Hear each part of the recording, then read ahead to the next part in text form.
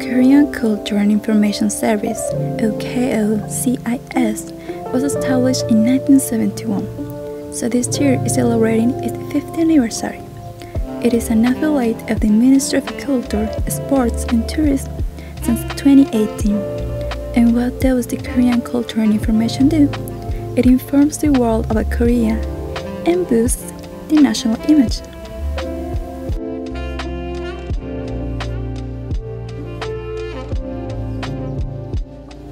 I'm pretty sure you know it even when the name does not ring a bell. The Korean Culture Centers in 28 countries, as well as the Culture and Information Officers in 8 countries, are part of the Korean Culture and Information Service. These centers and officers have been a key element in sharing Korean culture with other countries.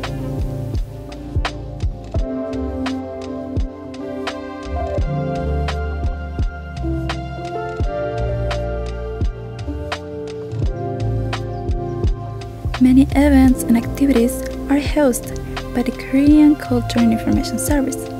This year there was the How K-pop Save Me event, which is a talent competition between foreign K-pop fans.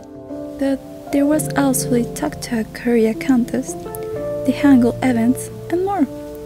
I watched these events and they were so good. There was a positive feeling that you could sense even when most of them had to be online.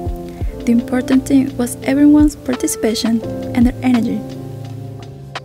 There was the K Community Challenge where the Korean Culture and Information Service was one of the hosts too. I participated in this one for the first time and it was an enjoyable space where I could learn about traditional Korean arts while participating to win Korean souvenirs.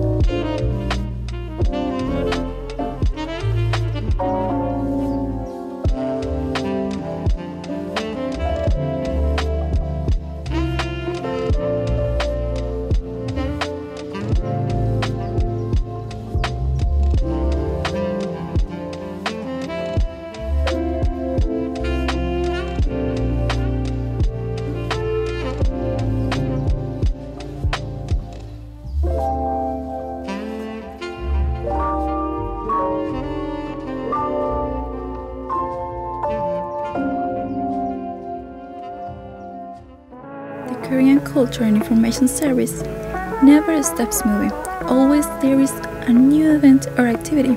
It's fun to be part of them or just watch them.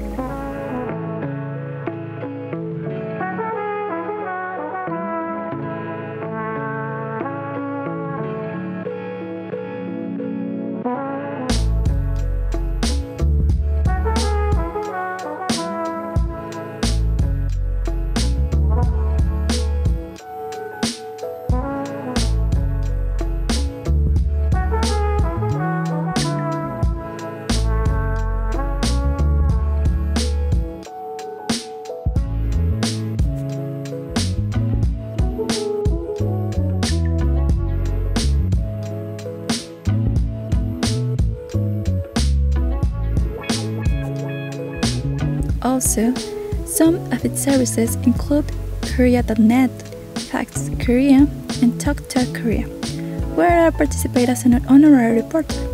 It's fun to learn about Korea while sharing a space with other K fans around the world.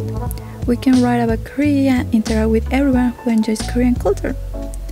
This is why I decided to celebrate the Korean culture and information service like this, bringing Korean elements in my own way while telling you about it so you can explore more and participate in the events too.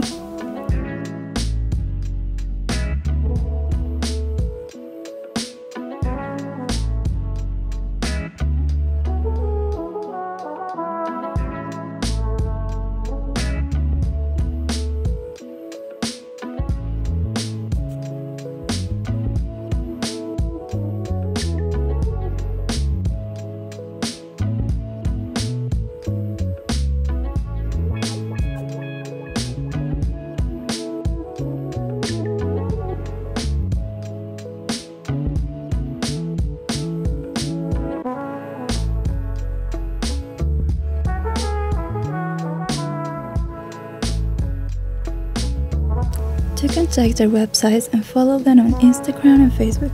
to find many things about Korea and events to be part of. I'm confident you will discover something new and fun, perfect for you.